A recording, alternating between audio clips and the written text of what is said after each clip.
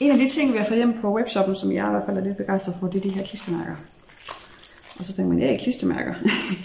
ja, men det er fordi, at det er, nu skal jeg lade den åbne her. Det er fordi, det er små markader, som har øh, farverne på DLC-numrene. Det vil sige, de har farverne på diamanterne. Der er sådan lige fra 1 til 100 og A til Z og sådan noget. Det er ikke det, jeg synes er så spændende lige nu. Det, jeg synes er spændende, det er de her. Øh, fordi det er jo alle farverne på Diamond paint. For eksempel ved vi jo alle sammen, at 310, det er sort. Og når man så finder 310, så er den nemlig sort.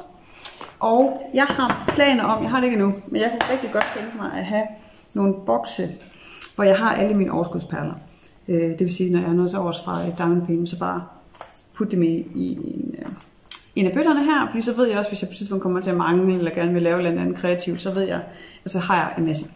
Øh, så det er min plan at lave øh, sådan et lille system her, hvor jeg tager mine bøtter, og så putter jeg en markat på, der passer. Og det var sådan for mit øh, øh, sådan struktureringsgen, så, gen, så synes jeg, det er fuldstændig genialt, at man kan have markater på alle DMC-numrene, og så kan man da også se farverne, bare hvis man skulle være lidt i tvivl om det nu, er den rigtige, man har fat i. Så, men øh, i hvert fald, det er noget af det nye, vi har fået på shoppen. Det er kun klistermærker, men jeg synes, det er fuldstændig fantastiske klistermærker.